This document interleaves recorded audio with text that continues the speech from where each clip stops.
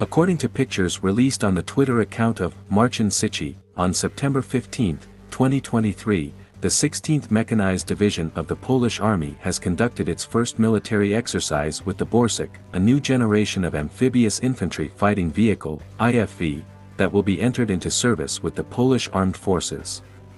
On February 28, 2023, the Polish government revealed a partnership with the domestic firm, Huta Stalowa Wola, HSW, to manufacture and advance 1,400 Borsuk infantry fighting vehicles, IFVs, in multiple models.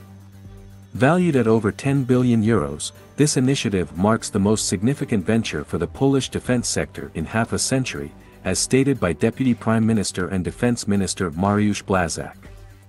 HSW has been entrusted with this among other projects.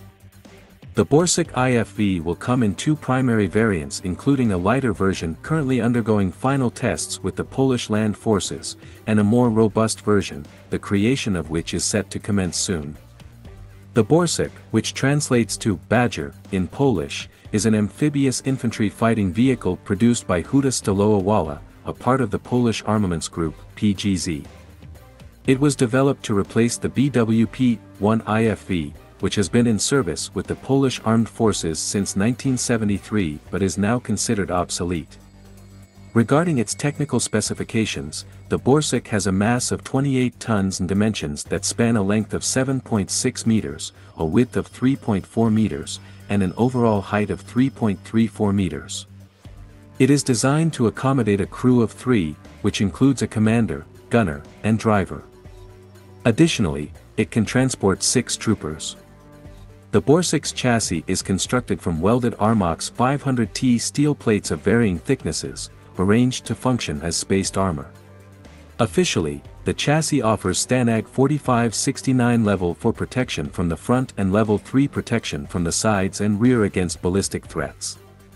It also provides protection against mine blasts at levels IIA and IIB. The ZSSW 30 turret's armor level hasn't been officially disclosed, but it's believed to offer level 3 protection for both its main structure and the missile container. Additionally, the Borsuk is equipped with the OBRA 3 soft kill active protection system, which can detect and counteract threats from laser-guided weapons. Powering the Borsuk is a power pack that consists of a 720 horsepower engine, which drives a 6-gear Perkins X300 automatic transmission. The vehicle's running gear includes six dual rubber-lined road wheels on each side, with a hydropneumatic suspension system. The Borsuk can be fitted with different types of tracks, including steel tracks or composite rubber tracks impressively, the vehicle is fully amphibious without any special preparations. In water, it's propelled by two water jets with rotating nozzles. On the road, the Borsuk can reach a maximum speed of 65 km per hour, and in water, it can achieve speeds of up to 8 km per hour. Its operational range is approximately 550 km. The Borsuk is armed with the ZSSW-30 remote control turret, which houses a 30mm chain gun and a coaxial 7.62mm machine gun. The turret also features two anti-tank guided missiles in a launch container mounted on its right side.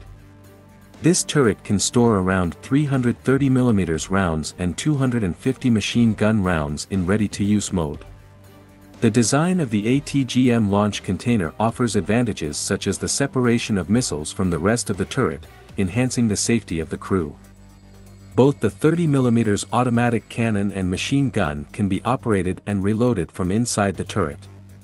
The automatic cannon can fire at rates of 200 RPM for standard ammunition and 120 RPM for airburst munitions.